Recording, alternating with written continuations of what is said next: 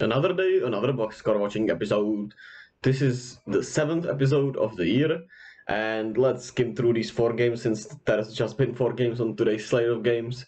Uh, we start with the Wizards defeating the Pistons, moving to three and one, which doesn't bode well with my preseason predictions. But let's let's talk about some of this game. Bo- Bojan Bogdanovic continues to be great for the Pistons, great trade, but they're just not ready yet, obviously. And Cade, Cade Cunningham has been disappointing to start the season.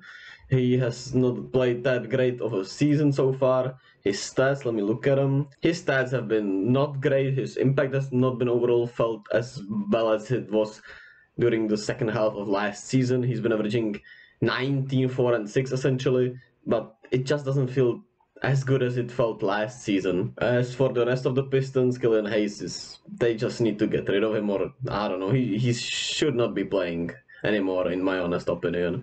And Jalen Duren has continued that's the biggest positive still for the Pistons that Jalen Duren looks pretty solid. Jaden Ivey looks pretty solid overall for his rookie season, and they'll, they'll just lose more than I expected them to, since I expected Cade to take a leap. As for the Wizards, they continue their great start to the season with another victory, and their overall team play has been really great. You can see Bradley Beal played 22 minutes, had 13 points. The Wizards continue the great start to the season with 3 on 1 record, and their overall team play since Bradley Beal had to leave during the first quarter after the first quarter i'm not sure actually i don't remember even seeing it during watching the possessions and he returned afterwards with he had some back soreness back problems he had just 13 points but Kyle Kuzma picked up the slack with 25 Porzingis continues his pretty solid start to the season with 20 points Rui Hachimura off the bench continues to be good and Will Barton also just a solid time for the Wizards and I just want to point out Johnny Davis still looks not like an NBA player and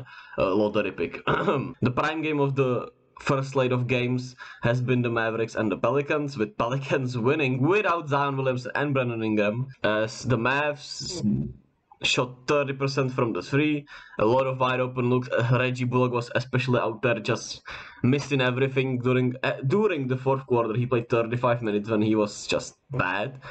Dorian Finney-Smith has not had the good game yet. JaVale McGee was solid, I guess, but it felt like his defense was not good. Spencer Dinwiddie is still great. His ISOs are so good. He had 24 points, but he was minus 15, so the runs were made when he was on the floor. But it didn't feel like that when you watch the game. Maybe I should. I just didn't see it, but from my point of view, he, he didn't look like you know he was the problem out there. Luka, 53% from the field, 15% from the three. Maybe too many three pointers for Luka, especially as as always he shoots the last. You know, the game winning three is always from the left top corner. Let, let me just showcase it. Well, prior to this, Luka missed five threes in a row. And I mean, five. prior to the game winning try, Luka missed four threes in a row and he decides to shoot his classic once again gets it from the inbound, goes to the left top and the side step free, and this time he misses it. I'm not sure what Luka's stats are from that spot overall in there, but well, he missed it today, and he wasn't going from three point line. But for my fantasy, he was he was perfect. and Christian Wood continues his sensational start to the season. As for the Pelicans, who played obviously without Zion and without Brandon Ingram, who's in concussion protocols, they were sensational. And that's exactly this this type of game is exactly proves why I was so excited for them. And you know, they sort of feel like, in a way, like the Phoenix Suns after the bubble. When you know last season after the playoffs they got their you know identity. They figured out what they want to do. They you know felt like they just know now. And with zion back it feels like they, it, he can take them to another level similar to trading for cp3 with the suns. And i mean look at this. One two three four five six seven eight eight players in double digits sensational. The Dyson Daniels was minus 18 on the game, but when he, you know, watching him so overall play, he, he look out there that he belongs out there.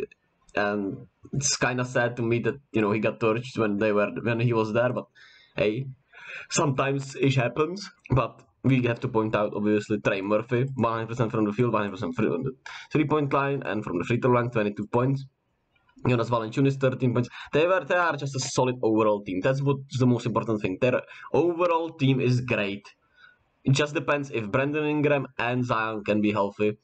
They have a high ceiling. Next up, we have the Clippers and the Thunder. Well, Clippers without Kawhi, without Paul George, and well, Kawhi is out two games with precautionary things about his knee already, which doesn't bode well for uh, you know anyone. But they are taking the cautious road, and I guess I guess we'll see. Uh, I mean, you can't say anything about it because we don't know how the operation went and everything. But it's so weird and cryptic and everything. I just hope Kawhi is you know fine and it's not more of a mental thing with him, since you know back in San Antonio he didn't trust the doctors out there, and it could even be you know mental who knows? I don't want to put it on him, obviously, just like mental uh, excuse or you know that he's mentally you know not well or anything. But it could very well be since you know it's it's really rough with injuries and it has to be draining on the body uh, and on the mental. I just hope he finds a footing and he he is well this season overall. And yeah, the Clippers just struggle without him. Reggie Jackson just 23% from the field, Norman Powell 30% from the field. Ivica Zubac 10 and 14, 15 points off the bench. John Wall pretty solid outing, 19 minutes, but uh, they just need to get healthy and comfortable. They're gonna be rough to start the season overall.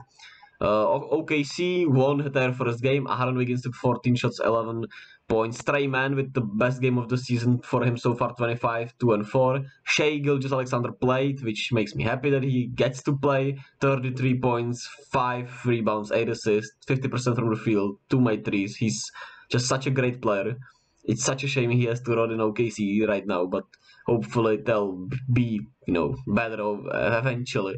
And Ken- Kenrich Williams, 10 points. Uh, Mike Muscala, 8 and 10 off the bench. Good for them to get their first win. And last game of the day, my Warriors getting torched by the Suns as our defense continues to be very bad to start the season. Andrew Wiggins had his first bad game of the season 16 6 and 3 with not efficient shooting draymond looks really great out there 14 8 and 5 3 steals even though he had 5 turnovers he looks he just looks healthy he looks good which is bodes well for the overall future uh, Klay got ejected, uh, which I don't actually know what started overall. I still have not seen what started overall, but then he started talking to Devin Booker and got ejected, which maybe he couldn't, shouldn't have been. It's up to debate. I don't know. The refs were kind of very weird last, you know, game, but this game, but what do I know? Steph, not a good game, 21, 7 and 8, kind of stat, but in the end missed two free throws, which is a shame. James Wiseman, I mean, he looks great offensively, but I don't know, man. I'm, I'm scared for Big Jim. And you know a lot of people are picking on him. There are the stats when you know he's with anyone any player in the lineup it's just a negative net rating which is, is kind of crazy to see but it is what it is. Jordan poole 17 points off the bench. Moses moody at least played 25 minutes 13 points. Kuminga 4 points in 15 minutes. It was just an ugly game for my warriors. As for the suns well they made a lot of tough shots a lot of easy shots they just were ready for this game more than my warriors and I mean, the first half was sensational basketball overall. It was a high tempo basketball, some trash talk. It was great, but after the Klay ejection, it just got out of hand quickly. And Mikal Bridges with the best game of his season so far 17 6 and 2. Cam Johnson has still been struggling in the starting role. Uh, DeAndre Ayton 16 and 14, but ah man, I was not impressed with Ayton he always gets the matchup he wants, but his touch and his post they just look so bad, or at least today they did look bad. I don't know. Devin Booker continues his MVP start of the season 34, 2 and 7 on 52% from the field. Chris Paul had a good game finally for the Suns after I trash talk him in every video. He obviously plays good against my Warriors, 16, 7 and 9. And J- Jock Landale was out there bullying Moses Moody, 17 and seven. Well, that makes it for today. There were three blowouts today, but uh, the Warriors and Suns were, was sensational until the Klay ejection, and well, two blowouts, and the Pelicans upsetting the Mavs without Zion and Brandon Ingram, which were sensational game overall. Tomorrow's slate of games should be pretty fun. Also, Magic look for their first win against the Cavs with Donovan Mitchell. Hawks play again. Horn 2-1 Hornets against the Knicks. Sixers Raptors should be fun. Nets Bucks should be fun Pacers Bulls could also be very fun. T-Wolves Spurs. I mean, there's a lot of fun game tomorrow. I'm gonna cover them all, and I'll catch you all tomorrow.